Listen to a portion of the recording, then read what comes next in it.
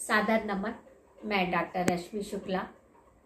सामाजिक सेवा एवं सोच संस्थान की मैं अंतर्राष्ट्रीय अध्यक्ष हूँ और प्रयागराज, उत्तर प्रदेश, भारत से मैं बोल रही हूँ। समाचार क्यारी जो समाचार पत्र है, उसको मैं बहुत बहुत शुभकामनाएँ देती हूँ।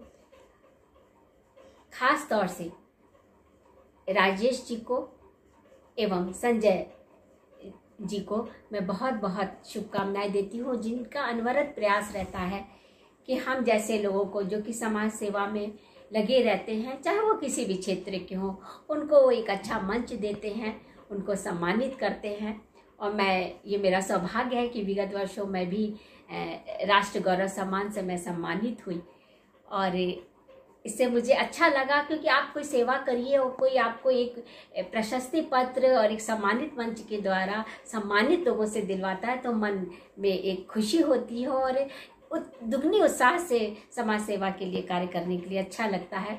तो ये समाचार क्यारी को मैं बहुत बहुत धन्यवाद देती हूँ। और इस समाचार पत्र की एक ये भी विशेषता है कि मैं रोज़ सवेरे उठ के आज भी ये समाचार पढ़ती हूँ क्योंकि ये छपता कहीं है, लेकिन मुझ तक आता है। हमारा बहुत प्रिय ये समाचार पत्र है। सब समाचार इससे मुझे मिल जाते हैं घर बैठे ही।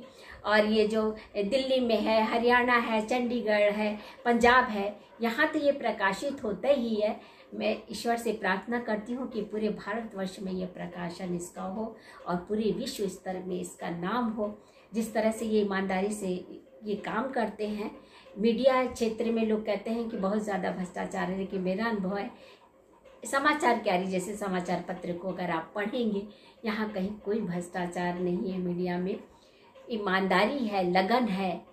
इसी तरह से हम चाहते हैं कि समाचार क्यारी पत्र खूब आगे बढ़े। मेरी बहुत बहुत शुभकामनाएँ हैं और मैं आ रही हूँ। यहाँ पर पुनः मुझे आमंत्रित किया गया है कि मैं यहाँ पर आऊँ।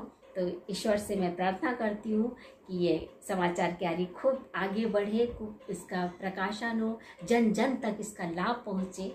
और हम जैसे लोगों को सम्मानित किया जाए तो हम लोग को अच्छा लगता है और अच्छा कार्य करने में मन को उत्साहित मिलते हैं।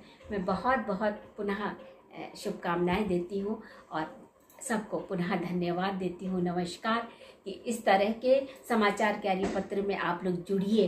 ज़्यादा से ज़्यादा लोग इस कार्यक्रम में आए, जो पंचकुला में होता है, मई में हो रहा है यह कार्यक्रम। आप सब पधारे इस कार्यक्रम का आनंद लें। बहुत सारी चीज़ें, बहुत सारा ज्ञान हर क्षेत्र का इस तीन दिवसीय कार्यक्रम में मिलता है। आप लोग लाभ उठाएँ और धन्यवाद। मैं डॉक्टर